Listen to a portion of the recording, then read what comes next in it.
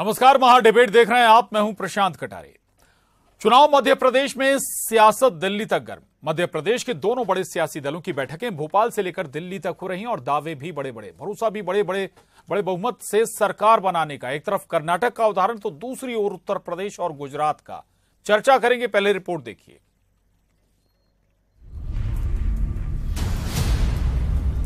चुनावी दावे साल सियासी। जी हाँ। दिल्ली में हुई बड़ी बैठक से बाहर आए राहुल गांधी ने एमपी में कांग्रेस की 150 सीटें जीतने का दावा कर दिया। राहुल की माने तो एमपी में कर्नाटक रिपीट करने जा रहे हैं। तो सीएम शिवराज का जवाब मन बहलाने को बाबा ख्याल अच्छा है। तो दावा बीजेपी के 200 सीटें जीतने का। अभी हमारा डिस्कशन हुआ लंबा लंबा चौड़ा डिस्कशन हुआ। और हमारी इंटरनल असेसमेंट है कि 100 136 136 मिली कर्नाटक में। हमारा इंटरनल असेसमेंट है कि हमें एमपी में 150 मिलने जा रही है। तो कर्नाटक में जो किया उसको हम रिपीट उसको हम रिपीट करने जा रहे हैं। थैंक यू चेहरा क्या कमलनाथ होंगे मध्य प्रदेश में? भैया 150 सीटें आने वाली है। थैंक यू इनके बहलाने को बाबा ख्याल अच्छा है।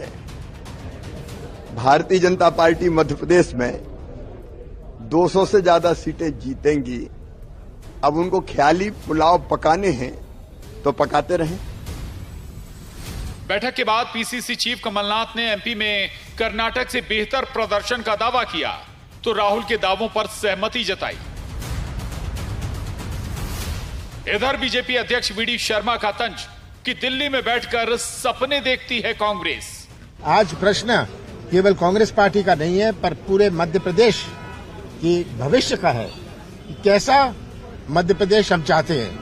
मुद्दों पर बात करी कि कौन कौन से हमारे प्रमुख मुद्दे होंगे कौन कौन किस आधार पर हम चुनाव लड़ेंगे और इसमें सब एकता के साथ मैदान में उतरेंगे। अब दिल्ली में बैठ करके वो सपने ही तो देखेंगे और क्या देखेंगे?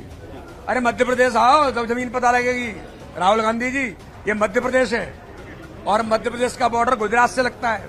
मध्य प्रदेश का बॉर्डर उत्तर प्रदेश से लगता है, जिसे गुजरात के अंदर आपको कैंडिडेट नहीं मिली, आपकी जमानतें जब्त हो गई।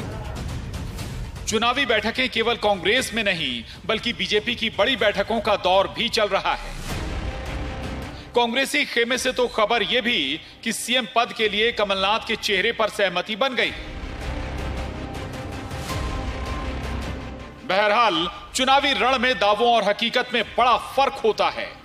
लेकिन किसके दावों में है दम बताएगा एमपी दिल्ली से अशरफ काजमी, भोपाल से शैलिन सिंह के साथ bureau report, news 18 Madhya Pradesh, Chhattisgarh.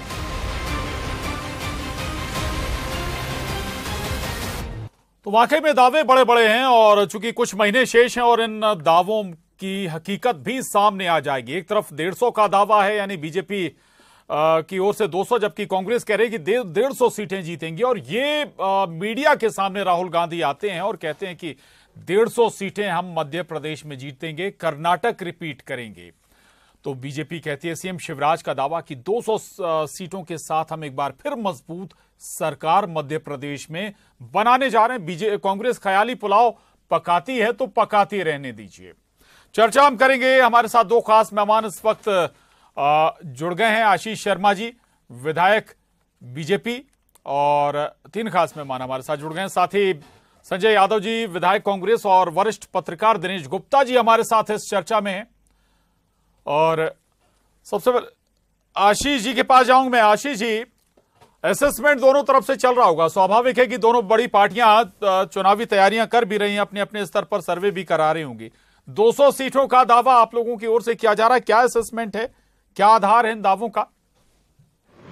हमारे दावे का आधार है 2003, 2008, 2013 की भारतीय जनता पार्टी की सरकार। 2018 में जो कुछ कमियाँ रह गई थी जिनके कारण हमें चुनाव में कुछ सीटों का नुकसान उठाना पड़ा। पंद्रह महीने हमारी मध्य प्रदेश में सरकार नहीं रही। इन सब परिस्थितियों का विश्लेषण करते हुए हमने 2023 के लिए रणनीति तैयार की है। हमारी लगातार बैठकें चल रही है। प्रत्येक सीट को लेकर हमारी कार्य योजना बनी हुई है। और जनता को जो विकास भारतीय जनता पार्टी ने दिया है एक बीमारू राज्य से उन्नत राज्य की दिशा में हमारा मध्य प्रदेश बढ़ रहा है। यही विकास पर केंद्रित हमारा चुनाव होगा। और हम विकास के दम पर जो मध्य प्रदेश की जनता को भरोसा हमने पिछले 20 वर्षों के कार्यकाल में अर्जित किया है उस विश्वास के दम पर हम पुनः मध्य प्रदेश में भारतीय जनता पार्टी की सरकार बनाएँगे। विश्वास का नाम भारतीय जनता पार्टी है। विश्वास का नाम शिवराज सिंह चौहान जी का चेहरा है। इसलिए हमें कोई संशय नहीं है। जी। 2023 में पुनः मध्य प्रदेश में पांचवी बार भारतीय जनता पार्टी की सरकार ठीक है पांचवी बार बीजेपी की सरकार बनाने जा रहे हैं आप। ये दावा और भरोसा भी आशीष शर्मा जी को। संजय यादव जी अगर आवाज़ आप तक पहुँच रही है इन दावों को ज़रूर सुन रहे होंगे। पांचवी बार बीजेपी कह रही है कि हम सरकार बनाने जा रहे हैं। दो चले संजय तक संजय जी तक आवाज़ नहीं पहुँच रही। हम दोबारा संजय जी के पास जाएँगे। दिनेश गुप्ता जी कर्नाटक का उदाहरण दिया जा रहा है उत्तर प्रदेश का उदाहरण यहाँ तक कि गुजरात का उदाहरण दिया जा रहा है। एक तो ये कि डेढ़ सौ सीटें ठीक है असेसमेंट जो ज़रूर हुआ होगा लेकिन सवाल ये कि क्या पड़ोसी राज्य या फिर बिल्कुल अलग प्रकृति वाले राज्य को आप मध्य प्रदेश से जोड़ सकते हैं का? क्या उदाहरण कर्नाटक का करो मैं नहीं उदाहरण तो चूँकि अभी हाल ही में विधानसभा चुनाव के परिणाम वहाँ आए हैं तो इसलिए और क्योंकि कांग्रेस को लगातार आप हिमाचल के बाद यदि कर्नाटक की जीत मिलती है तो उसका निश्चित तौर पर उसका जो है मॉरल हाई होना और उसका आत्मविश्वास बढ़ना स्वाभाविक है। आप देखिए ना तो गुजरात से ये कह सकते हैं कि सीमा मिलती है तो इसलिए मध्य प्रदेश जीत जाएँगे। ना आप उत्तर प्रदेश का ज़िक्र कर सकते हैं क्योंकि फिर छत्तीसगढ़ भी है राजस्थान भी है। पिछले जी। 2018 में तो तीनों राज्यों में कांग्रेस सरकार जीती थी ना। तो 18 का उदाहरण भी तो हमारे सामने है कि 18 में यहाँ जीती और बीच में जिस तरह की परिस्थितियाँ बनी तो कांग्रेस की सरकार चली गई। तो हर राज्य की परिस्थिति अलग होते हैं मुद्दे अलग होते हैं। जो यदि एंटी इनकम्बेंसी की बात करेंगे तो वो भी एक अलग तरह की होती है। प्रो इनकम्बेंसी की बात भी होती है कि यदि सरकार ये कहती है कि नहीं हम तो पॉजिटिव वोट की मांग कर रहे हैं। तो जब चुनाव होता है तो कई तरह के फैक्टर काम करते हैं। लेकिन जब आप कैंडिडेट देखते हैं तो क्या कास्ट इक्वेशन के आधार पर आप कैंडिडेट देते हैं? बहुत सारे ऐसे मुद्दे होते हैं जो आपको अभी इलेक्शन अनाउंसमेंट होने से पहले यदि कोई असेसमेंट आप करती हैं पार्टी अपनी असेसमेंट तो उनका रेगुलर प्रोसेस है। यदि आप असेसमेंट कर रहे हैं कि आज 150 है तो हो सकता है कि जब आप दो महीने पहले एक महीने करीब हो तो कुछ चीज़ें आपसे चूक हो जाए कोई राजनीतिक भूल हो जाए तो कम हो जाए। या जो आप एक दूसरा राजनीतिक दल ये कहे कि भा- 200 सीटों का हमारा दावा है कि हम 200 सीटों का नारा हमारा है तो पिछली बार भी नारा 200 सीटों का था तो उनका भी एक अपना अपनी स्ट्रेटजी थी रणनीति थी। लेकिन नहीं मिली क्योंकि अल्टीमेटली इलेक्शन में बहुत सारे फैक्टर एक साथ काम करते हैं और पॉलिटिकल पार्टीज़ का असेसमेंट और जो भी स्ट्रेटजी होती है वो दोनों अलग अलग होती है। बिल, बिल्कुल बड़ी बात आपने कही है और स्वाभाविक है कि स्ट्रेटजी और पॉलिसी और नारे हालाँकि हकीकत में कितने तब्दील होते हैं ये अलग मसला है। संजय यादव जी हमारे साथ जुड़े हुए हैं। संजय जी आवाज़ अगर आप तक पहुँच रही है। तो आशीष शर्मा जी भी हमारे साथ हैं बीजेपी से। वो कह रहे हैं कि भाई हम पांचवी बार सरकार बनाने जा रहे हैं। दूसरा ये कि कांग्रेस भी दावा कर रही है डेढ़ सौ सीटों का।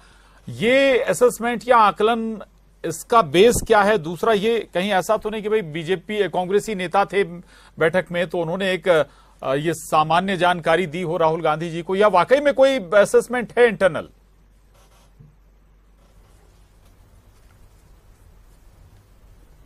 मेरे से पूछ रहे हैं आप? जी जी संजय जी आप ही से। जी। हेलो देखिए निश्चित आप ही से रूप से एक विश्वास होता है जी। आत्मविश्वास होता है और ज़मीन जमीनी आकलन होता है जमीनी हकीकत होती।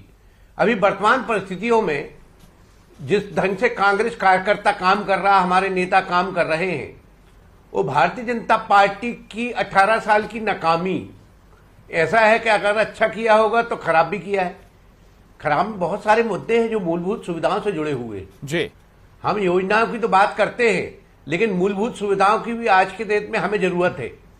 चाहे वो शिक्षा हो चाहे स्वास्थ्य हो ये बदहाल स्थिति में है। और हम अगर पंद्रह महीने थे और अगर हमने पाँच छह काम बड़े किए हैं चाहे वो पेंशन हो चाहे गौशाला हो चाहे कन्या विवाह हो तो निश्चित रूप से जनता हमारे ऊपर विश्वास कर रही। और जब हम जाते हैं क्षेत्रों में तो लोगों का ये कहना है भाई वो तो 18 साल से अगर आप कोई बात कहोगे 18 साल वाला कि अब हम ये कर देंगे वो कर देंगे। तो लोग ये पूछते कि 18 साल से क्यों नहीं किया? या 19 साल क्यों नहीं किया? हमारे ऊपर इसलिए विश्वास हो रहा लोगों को कि हमने कहा था हमारे पाँच साल के वचन थे लेकिन हमें बारह महीने काम करने मिला दो तीन महीने आचार संहिता में निकल गए।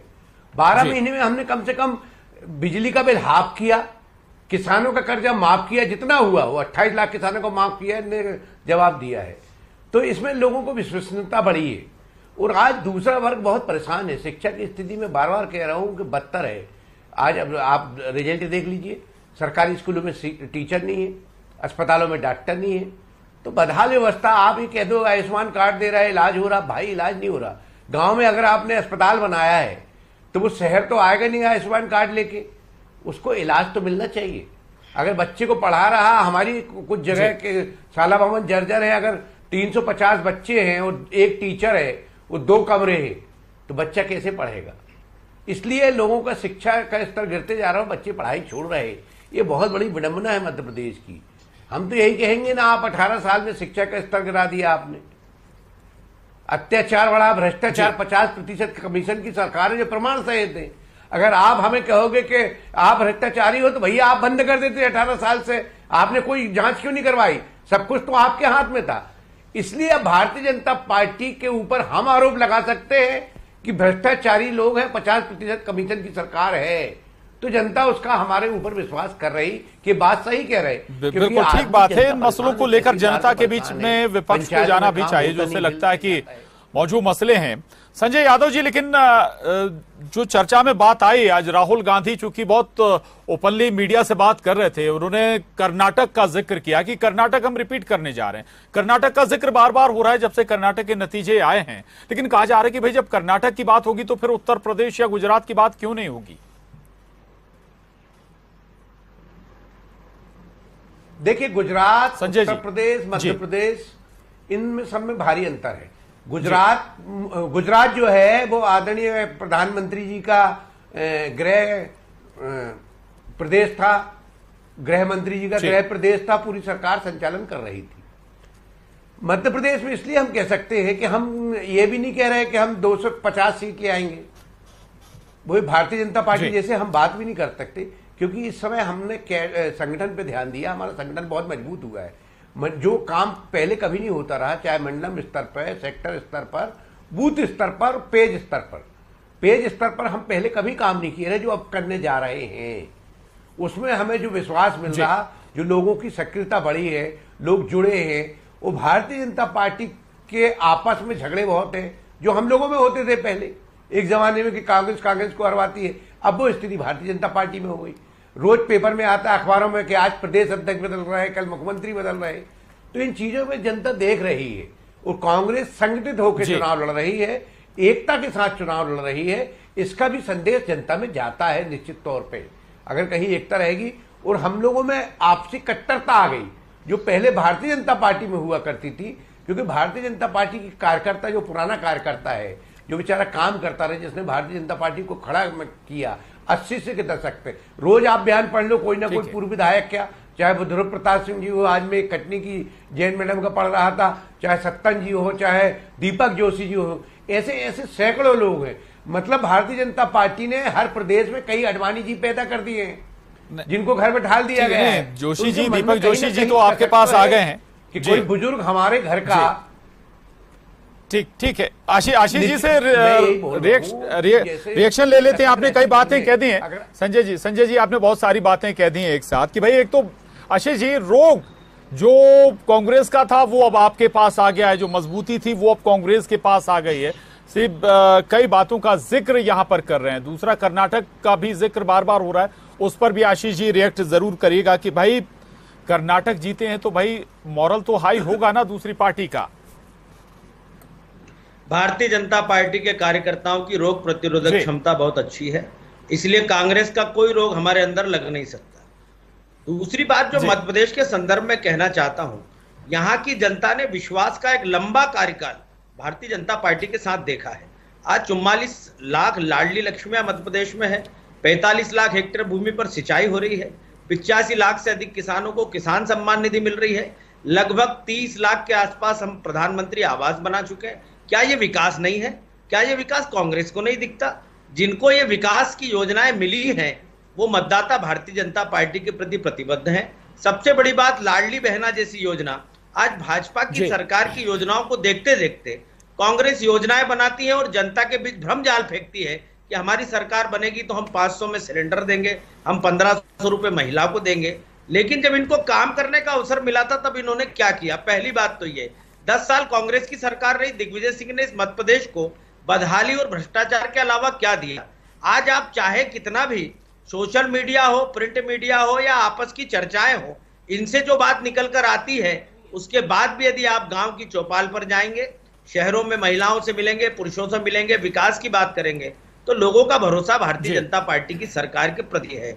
और इस बार 2023 के लिए हमारी रणनीति भी बहुत अलग तरह से बन रही है।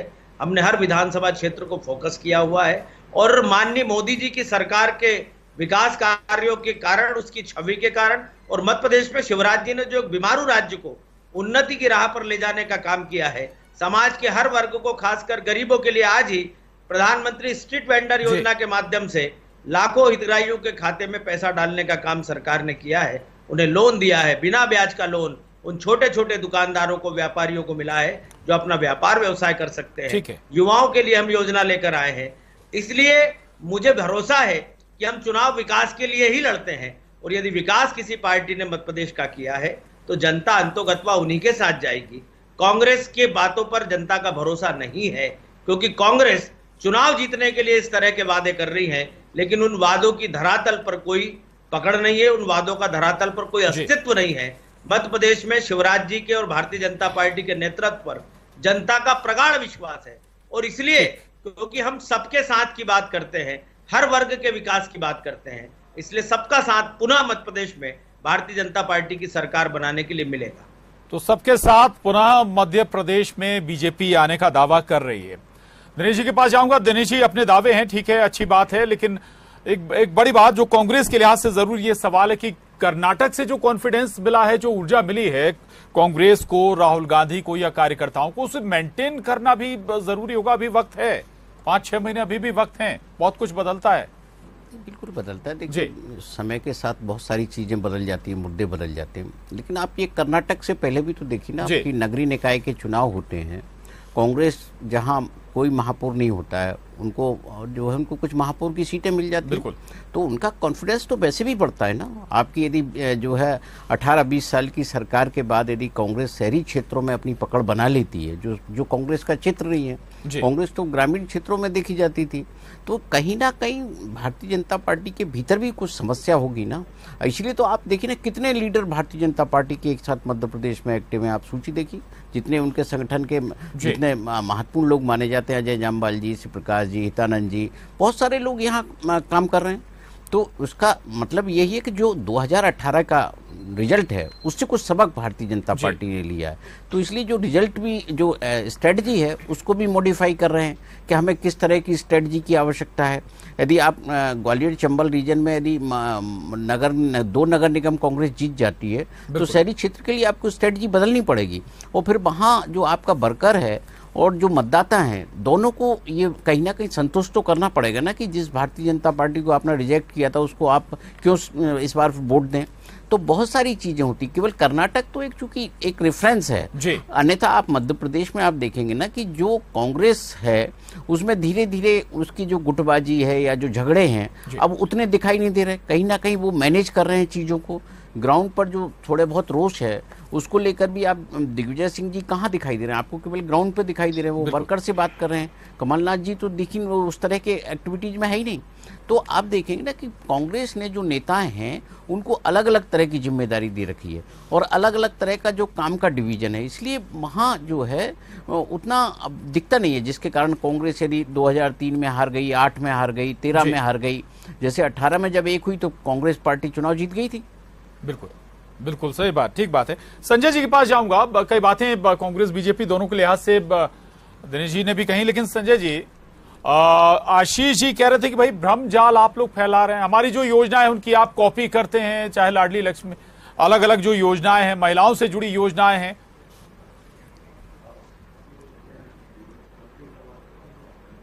देखिए पहली बात तो मैं अपने मित्र आशीष जी। जी की एक बात का जवाब दूँगा फिर आपकी बात का जवाब दूँगा। आशीष जी बात करते हैं लेकिन महँगाई की बात नहीं करते।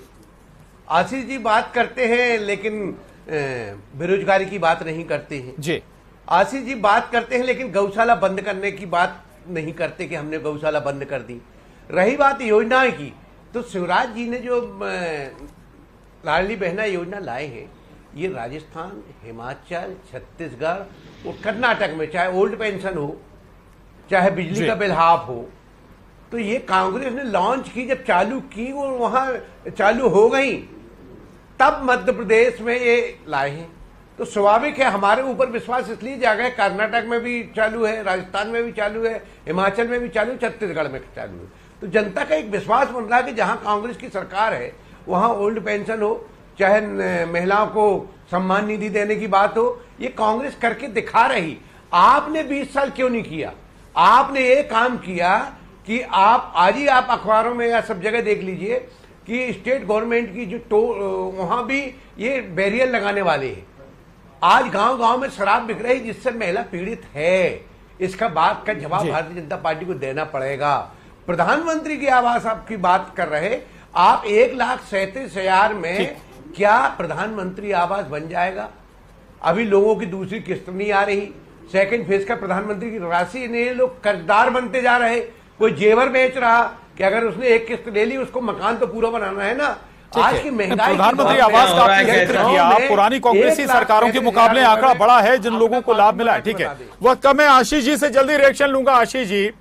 योजना तो आप दूसरे राज्यों से कांग्रेसी शासित राज्यों से कॉपी कर रहे हैं। संजय जी का स्पष्ट आरोप है। कांग्रेस ने कुछ किया ही नहीं। साठ साल तक उनको राज करने का अधिकार इस देश में मिला। कांग्रेस ने कितने करोड़ मकान बनाए बताए। कांग्रेस ने कितने शौचालय बनाए। कांग्रेस ने कितने बेटियों को लाडली लक्ष्मी बनाया। कांग्रेस ने कितना कन्यादान किया। कांग्रेस ने कितना संबल की मृत्यु होने पर दो लाख चार लाख रुपया परिवार को दिया। कांग्रेस ने ये कुछ नहीं किया।